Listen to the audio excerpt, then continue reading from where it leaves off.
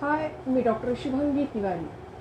मित्रांनो विषय चालला आहे इंग्रजीमध्ये स्त्रियांना संबोधित करण्याचा. मिस मिसेस हे आपल्या अत्यंत परिचयातले शब्द झाले.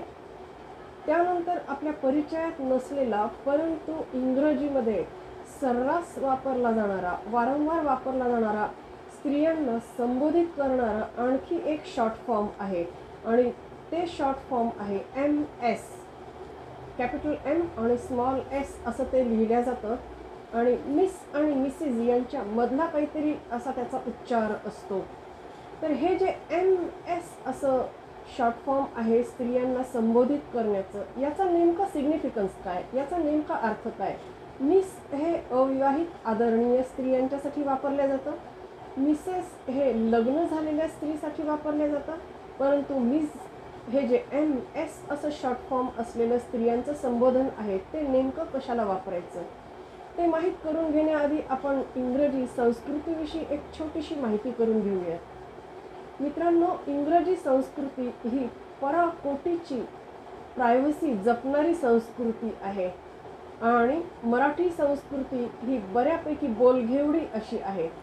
आपल्याकडे पूजा करताना सुद्धा गुरुजी मागच्या चार पिढ्यांच्या व्यक्तींची नावं विचारतात. ही आपली संस्कृती आहे. आणि समोरच्या माणसाला काहीही वैयक्तिक विचारायचं नाही तसं काही संबोधन करायचं नाही ही इंग्रजी संस्कृती आहे. म्हणून मॅरिटल स्टेटसवर बेस्ट किंवा विवाहावर अवलंबून लग्न न झालेली मुलगी मिस लग्न झालेली स्त्री मिसेस परंतु जिच्या मॅरिटल स्टेटसची माहिती नाही जिचं लग्न झालं आहे किंवा नाही किंवा त्या संबंधाने त्या स्त्रीची कुठलीही माहिती नाही अशा वेळेला त्या स्त्रीला संबोधित करताना हे तिसरं जे आहे एम एस मिस हे वापरलं जातं आणि असं वापरणं अत्यंत सभ्य आणि सुसंस्कृतपणाचं मानलं जातं. त्यामुळे स्त्री म्हटलं की प्रत्येक वेळेला तिला अत्यंत संकोच वाटणारे प्रश्न न विचारता तिची वैयक्तिकता तिची प्रायव्हसी जपणं याच्याकडे इंग्रजी भाषेचा आणि इंग्रजी संस्कृतीचा कल असतो. हे आपल्याला माहीत नसलं की बऱ्याच जणांची खूप फजिती होते आणि मग ती वाङ्मयामध्ये आणि वेगवेगळ्या परफॉर्मिंग आर्ट्समध्ये विनोदाचा विषय झाल्याशिवाय राहत नाही.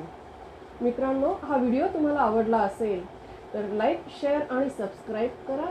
त्याचप्रमाणे मराठीतून इंग्रजी शिकवणाऱ्या माझ्या वेबसाईटचा ॲड्रेस खाली डिस्क्रिप्शन बॉक्समध्ये दिलेला आहे. वेबसाईटला अवश्य भेट द्या. तीन लेक्चर्स तुमच्यासाठी फ्री अवेलेबल केलेली आहेत. त्यांचा आनंद घ्या. थँक्यू